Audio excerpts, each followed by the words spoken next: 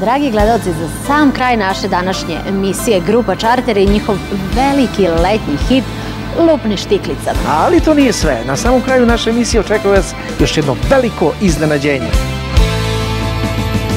Koliko puta za noć Pomislim možda ćeš doć Tri put na vrata da mi pokucaš Naša stara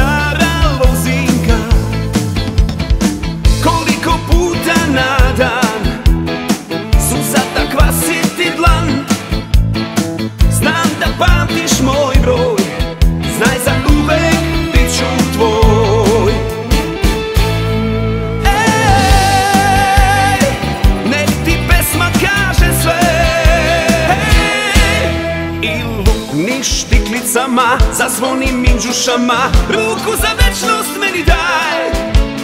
Pusti me da te volim Da za nas se molim. Neka se pamti ovaj maj. Lupni štiklicama Zazvoni minđušama Kosu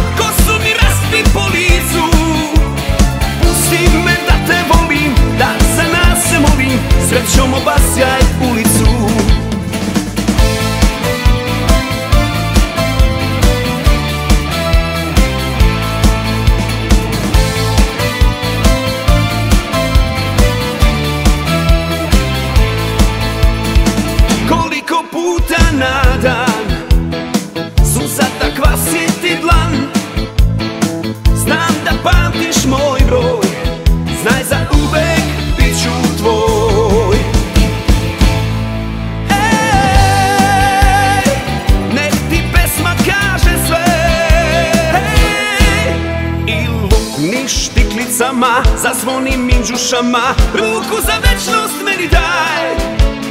Pusti me da te volim Da za nas se molim. Neka se pamti ovaj maj. Lupni štiklicama Zazvoni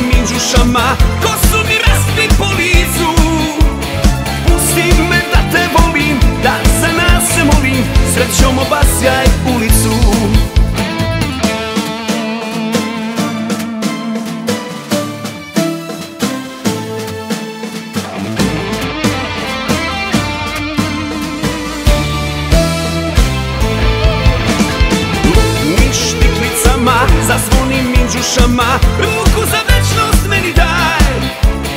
Pusti me da te volim Da za nas se molim. Neka se pamti ovaj maj. Lupni štiklicama Zazvoni minđušama Ko